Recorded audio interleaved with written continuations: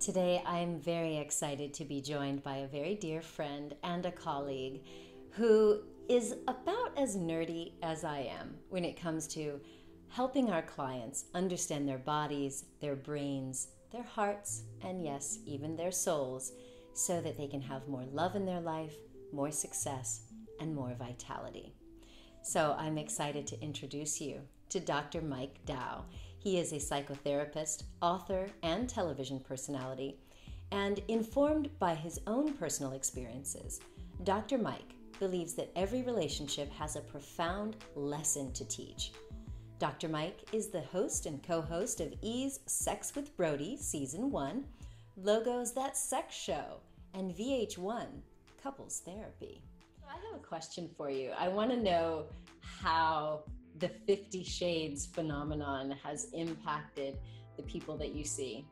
Yeah you know it's so interesting. Uh, I, I, do think it's helped women. And you know what we know is that women have always been um, you know early sex researchers researchers with women would use erotica sometimes to to to get a response. You know, men tend to be more visual, and you know, we're we're our brains are simple and a little a little animalistic, and we just need something to, you know, shiny penny, and, and you get this uh, response. So for women, a lot of times in laboratories, they would play them erotica, erotic fiction.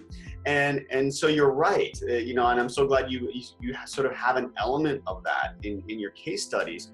But you know, I think you're you're also right. And what I do see in women, it's not that the women that I am treating all of a sudden want to, uh, you know, uh, go, uh, you know, get to a, a, playroom with a, with a dungeon because I, I don't find that to be true. You know, the the women who who liked some some um, uh, spanking uh, continue to like it, and and you know, uh, and of course, I think some people who want to incorporate some light BDSM, which by the way is is uh, this the statistics are, are, are you know show that a lot of people do incorporate that into their play. But you know I don't I don't think a lot of uh, women who read that for the first time are, are going to uh, you know go invest fifty thousand dollars in in leather and whips and chains or anything like that.